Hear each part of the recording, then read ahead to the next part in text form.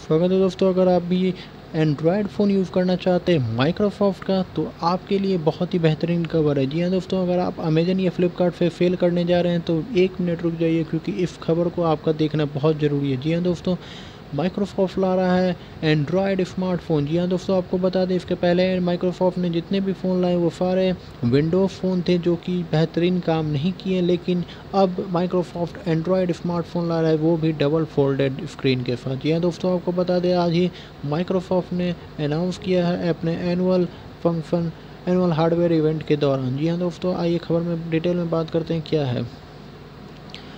दो screen android phone जी हाँ दोस्तों double screen android phone announce कर दिया है माइक्रोसॉफ्ट ने। Microsoft surprise everyone with a new dual screen device जी हाँ दोस्तों Surface new laptop and the dual smartphone they announce it at the end of the Microsoft annual event जी हाँ दोस्तों annual event के annual hardware event के दौरान Microsoft ने इसे announce किया। It also introduce refresh version of the Surface laptop and tablet tablet और laptop के भी न्यू वर्जन इंट्रोड्यूस किए हैं माइक्रोसॉफ्ट ने। चलिए दोस्तों खबर में बने रहने के लिए धन्यवाद और आगे की खबर जानने के लिए हमारे चैनल को सब्सक्राइब कर लें। Thank you so much friends